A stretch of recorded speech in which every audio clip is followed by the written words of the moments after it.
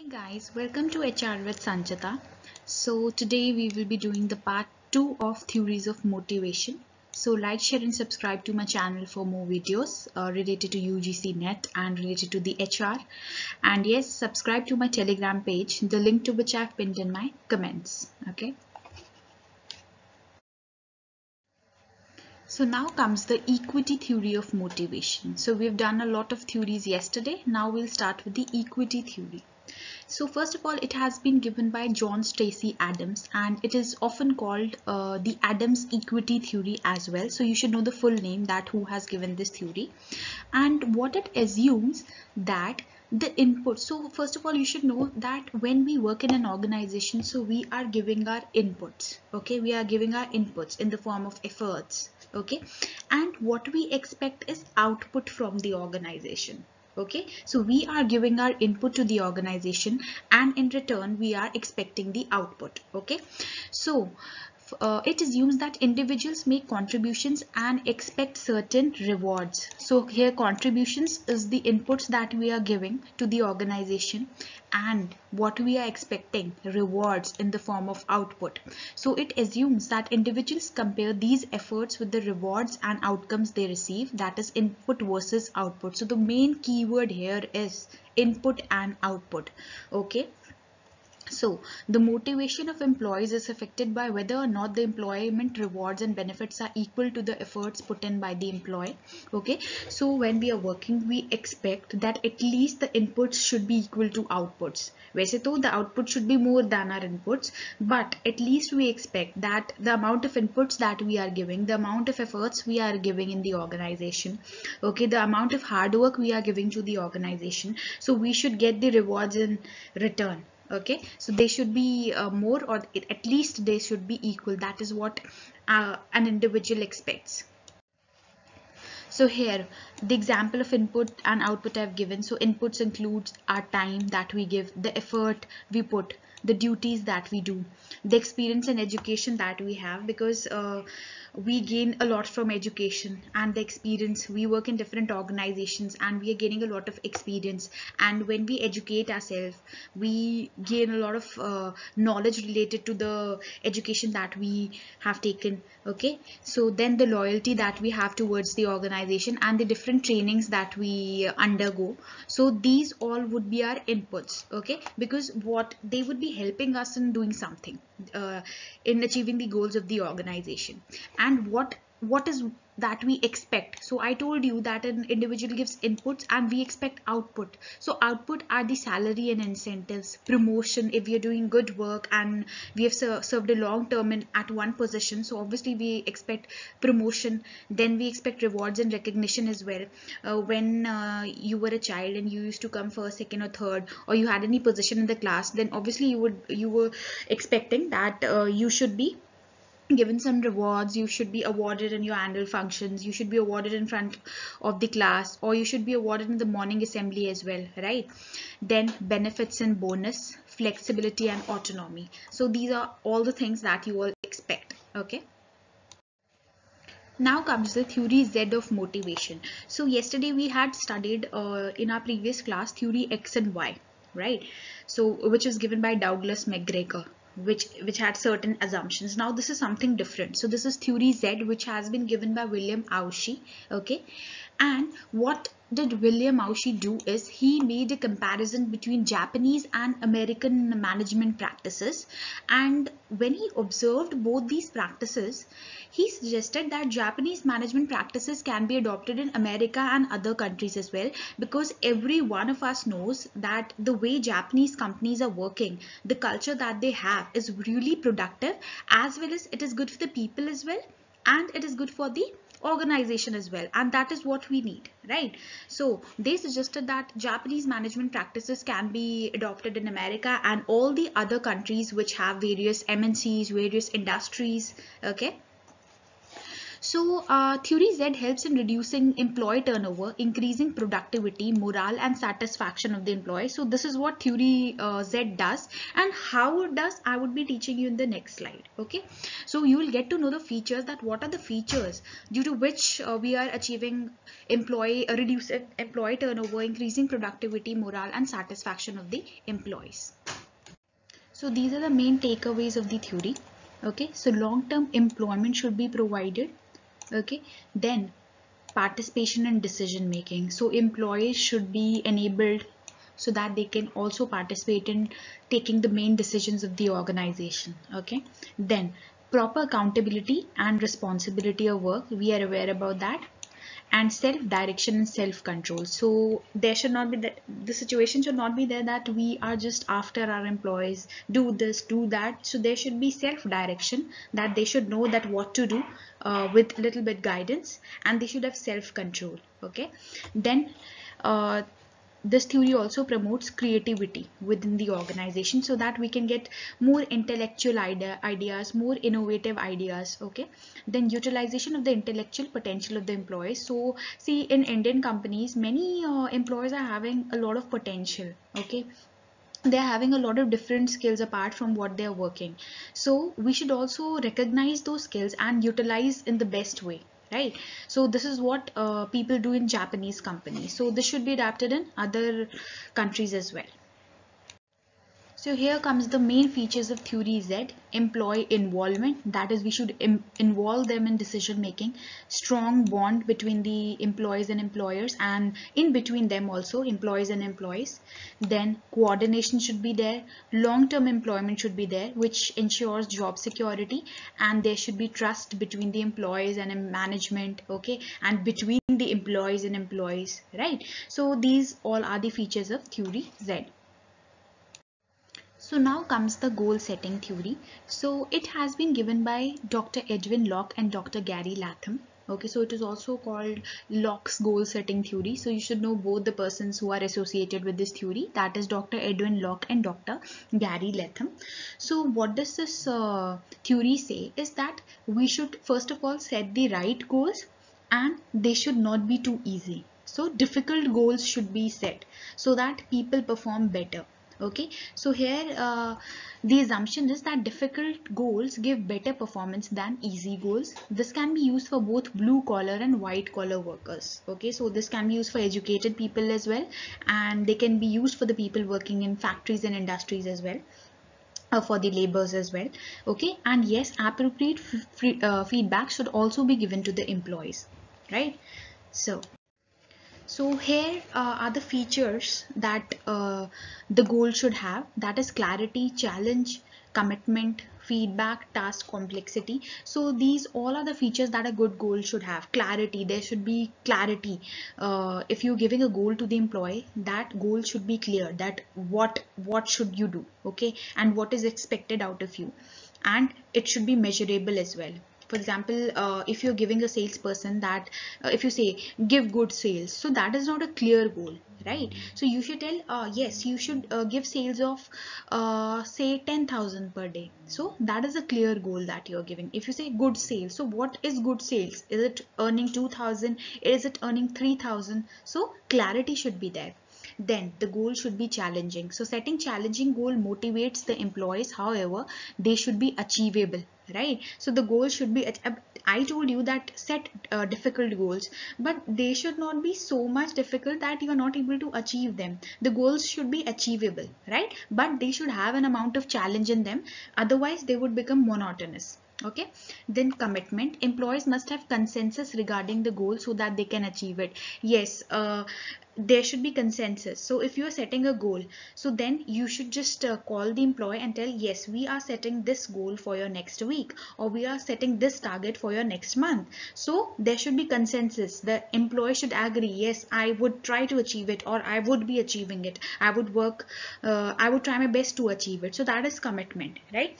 Then feedback. So gaining feedback is important in order to check the progress in achieving goals that I have discussed already. Feedback is important in every field, personal or professional, right? Then task complexity.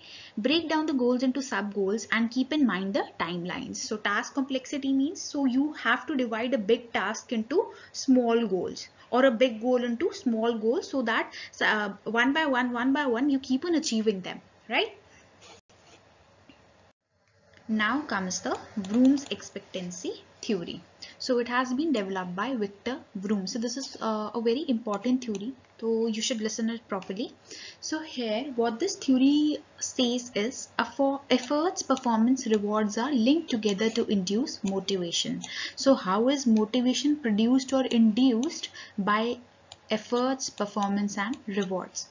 So employees put more efforts if the reward is important to them. So uh, when you people were child, okay, so अगर आपको mummy बोलती थी that uh, if you get good marks then I would give you a bicycle I would give you a toy car so then you you used to perform very nicely right so that you can achieve that uh, gift right so the same is the case with employees as well so employees will put more efforts if the reward is important to them so if employees are getting for example if you achieve your target then you will get around 20% of your uh, yearly salary. You or you will get rupees 2 lakh right? So if the reward if this 2 lakh would be important to that person then employees uh, that employee will put a lot of effort right to achieve the target so that he can get those rupees 2 lakh okay so and uh, second can be the case because for some employees uh, money is not important though for most of them it is right? So aisa bhi ho sakta hai that you achieve the target and you will get a holiday uh, in Italy or in France right? So if uh, traveling is important for an employee so then also he would put a lot of effort so that he can uh, go on a tour with his family okay? He can achieve that reward so this is what it says. And here are the three most important components of this theory that is valence expectancy and instrumentality. So these are the three most important components that you should remember. So behavior results from making conscious choices among alternatives whose aim is to maximize pleasure and minimize pain. So behavior so you, you need to break down the statement and read. So behavior results from making conscious choices among alternatives. So we choose those alternatives which maximize pleasure and minimize pain. So this is like human psychology. So we would always uh, try to minimize pain and maximize pleasure, right? So this is Vroom's expectancy theory. So under this theory, employees can be motivated if they believe more efforts give better performance. That is a positive relationships. Okay? So uh, you can see that uh, these are the assumptions of the theory right? That more efforts give better performance. Increased performance leads to more reward. So first of all you're putting efforts a lot of efforts and then you're getting better performance. And if you are giving better performance then what you're getting? You're getting rewards. And obviously you will give uh, you'll put in more efforts if the reward is valuable to you. So reward is valuable to an employee and will satisfy a need. So it will be valuable if it is satisfying your intrinsic or extrinsic need right? Then the need is strong enough to generate efforts. So the need should also be strong enough. Now uh, at this stage if someone tells you that yes you cracked this exam and then i'll give you one toffee or i give you one chocolate right. So for most of us that one chocolate won't be important at this stage of life right? But if we say uh, this to a child uh, get good marks and then i would give you a big chocolate then obviously that child would put on efforts right? So it depends. So the need should be strong enough for for the child.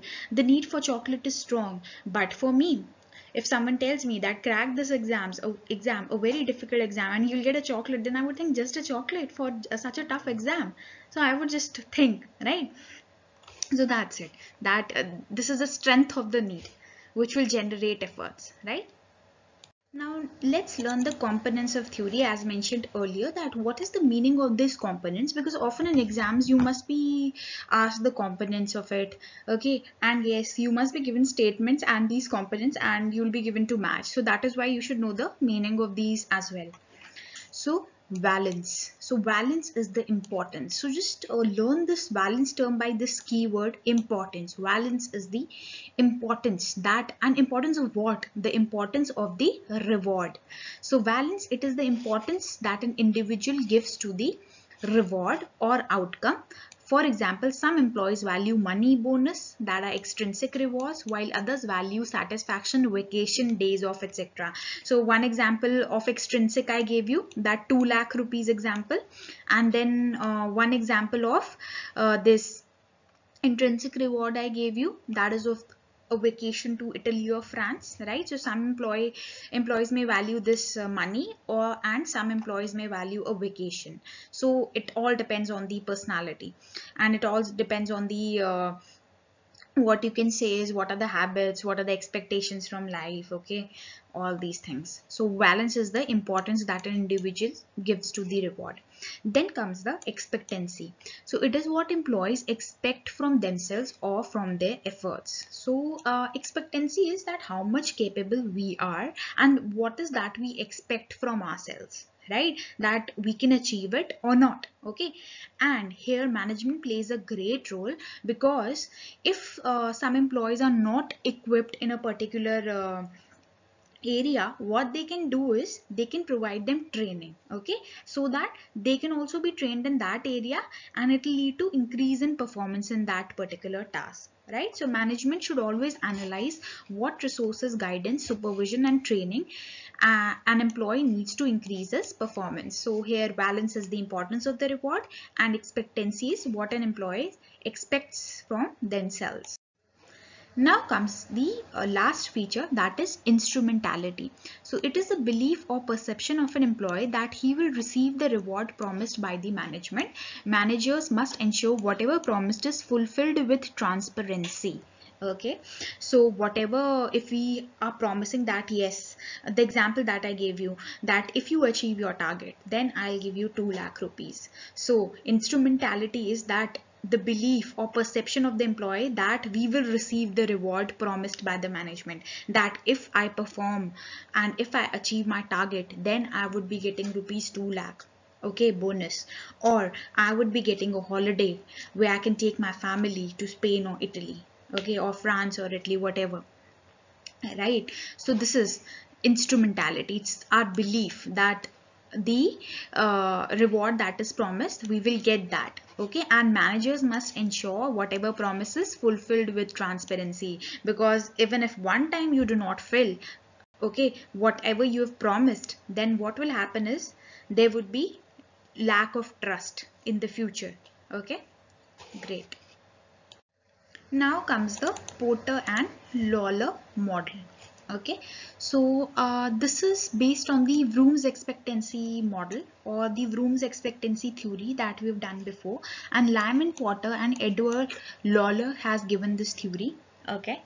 And it is also called a multivariate model because it has a lot of variables uh, within it and here what it says is what different it says is that efforts and motivation alone do not lead to performance. So in the Vroom's expectancy theory we were talking about efforts performance motivation efforts and performance and how it links to motivation. But here it is told that these all things also come into the picture. That is ability traits and role perception. So an individual's ability their traits and how they perceive their role. Okay? So it is uh, based on the following assumptions that behavior is determined by many factors in an individual and the environment and individuals are rational who make conscious decisions about their behavior right? So everyone has different needs desires and goals. So that is why their behavior also would be related to these needs desires and goals. Okay? Then expectations of the individuals let them make a decision between alternate behavior and this behavior would lead to a desired outcome. So here let's understand the main elements of the porter and lawler theory. Value of reward effort rewards performance satisfaction perceived effort reward probability. So perceived effort reward probability is that how much efforts we would put and like kitne efforts hum dale how much efforts we would put so that we can achieve that reward okay? So for example in the example that we were discussing in the previous theory that uh, if you achieve your target then you will get rupees 2 lakh bonus. So to achieve that target how much efforts do we need to put okay and are they feasible so by putting uh, that much efforts would be would we be able to achieve the target okay and uh, would we be able to achieve the target so that we can achieve our rupees 2 lakh award okay so that's it so now comes the self-efficacy theory which has been given by Albert Bandura. So you need to remember this that Albert Bandura has given the self-efficacy theory. So uh, basically it is concerned, it is mainly linked with the belief uh, in oneself that we have the ability to do something. We have the ability to accomplish something. Okay. And we have the ability to do tasks and actions that can have impact and influence on others okay so it is a belief in oneself that he has the ability to do a task or his actions can have impact and influence on others higher the self efficacy higher the belief in oneself to be able to achieve the task and vice versa so obviously higher we believe in ourselves. Higher would be the belief that we have in ourselves or the confidence that we have within ourselves. So higher would be our performance and we would be able to achieve our tasks easily. Because if we would have no trust over us okay then we would not be able to achieve things right? And it plays a vital role in motivation level of an individual okay so what are the determinants of self-efficacy? Performance accomplishments, vicarious experience, social persuasion and physiological and emotional stress. So let's understand these in brief.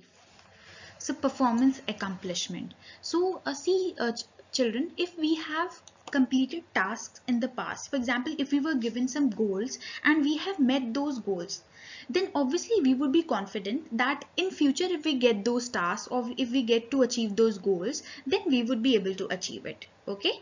While if uh, we repeatedly fail in something and in future we are given that thing again then we would have a certain thing in mind that yeah will, will I be able to achieve it? Because I have uh, like had failures in this task repeatedly right? So will I be able to achieve it? So this is performance accomplishments. That if we have completed tasks successfully in the past then we are confident that yes we can complete such tasks in the future as well.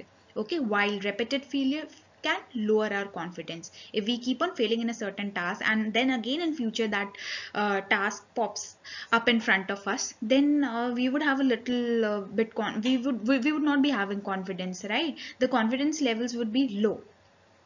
So this is performance accomplishments then vicarious experience. So it is also called modeling. Here in vicarious experience just understand it properly. In vicarious experience it is there that if we observe other person which is similar to us or who has similar traits and capabilities like us. And if he or she is performing a particular task and then is able to successfully accomplish that task okay then we will believe that yes we can also do that task. Because the person who is doing the task is also like us. He has the same education like us. He has the same skills like us. So yes we will we will be also able to achieve that task easily because that person is similar to us right now comes the social persuasion so, if a person is motivated by others that he can accomplish a goal, then he gives his best efforts due to the trust of others in him. So, see, if others trust you and if others keep on saying you, yeah, you can do this very easily, you can do this very easily, then obviously you would be able to achieve the task and the self-efficacy would be really high. Okay. Then is physiological and emotional stress. So, if a person is undergoing through a lot of stress, okay, and does not have a sound body and mind okay and if he or she is suffering depression then higher the stress levels lower will be the performance okay so there would be an inverse relationship between the stress levels and the performance. So lower the stress levels, higher would be the performance. Higher the stress levels and lower would be the performance, right? So see, whatever, we always say that a person should be healthy mentally as well as physically so that he or she can give the best and uh, can work towards the goal of the life, right? So it is a very important fact so if you are uh, you're having a sound body and sound mind then obviously the self efficacy would be really high and you'll be able to achieve your goals properly Now next comes the job characteristics model. Okay, and it has been developed by J. Richard Hackman and Greg Oldham. So it is also often called the Hackman and Oldham's job characteristics model. So you should just remember this or memorize this. Okay, so what it tells is that the design of the job that how the design uh, how the job is designed that also plays an important role in motivation satisfaction and performance. Like the contents of the job the skills required to perform that job okay? The identity of that job. Is that job uh, an important part of the organization? And is that job paying an impact on the others uh, as well? Or it is benefiting the society as well? So these all are the characteristics of the job right? And all these characteristics have an impact on motivation satisfaction and performance of the employee. Now let's study what are the elements right so these all are the elements skill variety, task identity, task significance, autonomy and feedback. So just you need to remember all these features. So what does this do is it studies the relationship between the characteristics of a job and the responses of an individual for the tasks to be performed. So again I repeat skill variety, task identity, task significance, autonomy and feedback. So these are the characteristics. So now let's uh, start explaining these elements. So first is skill variety. From the name itself you can understand skill variety. The variety of skills required to do that job or to do that task or the different skills required in an individual to do that task. Okay.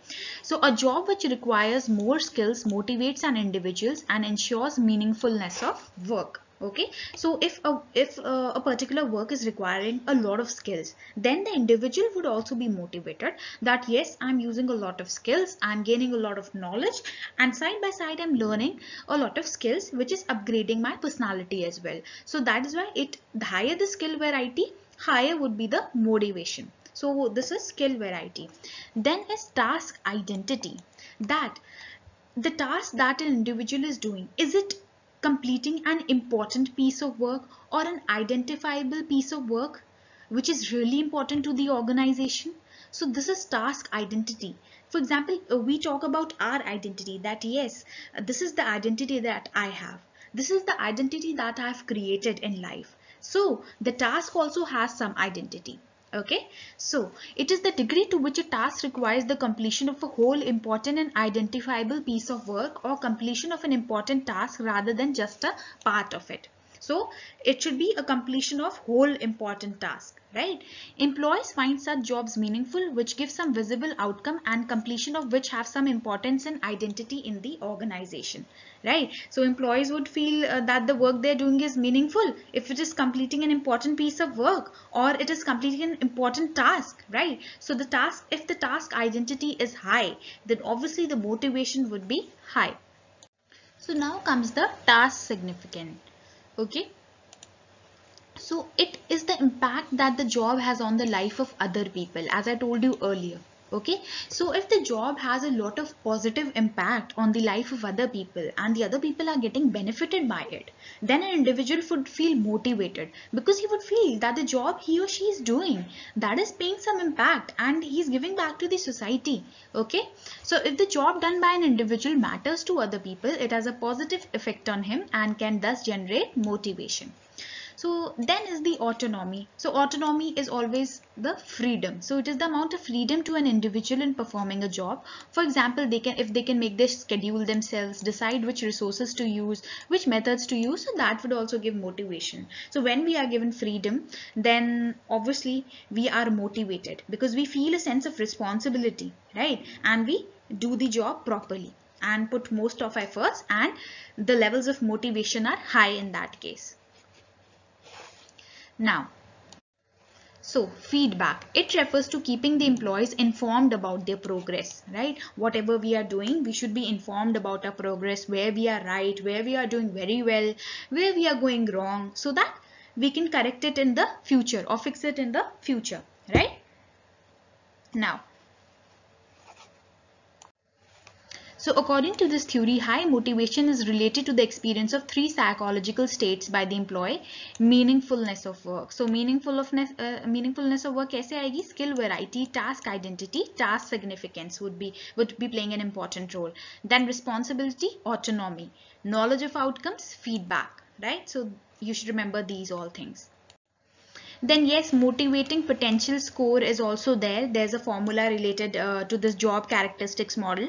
So i've just put in here so that uh, you can remember. So skill variety task identity task significance upon 3 just take the average into autonomy into feedback right? So if, if someone asks you that what is the formula of uh, MPS or motivating potential score so it is related to the job characteristics model. So you're putting all these five elements right? So you're adding skill variety task identity and task significance which give meaningfulness of work. All all these three are responsible for meaningfulness of work right so you uh, do the average upon 3 then into autonomy into feedback. So autonomy gives responsibility within an individual. It develops responsibility. And feedback what does it do? It gives knowledge of outcomes.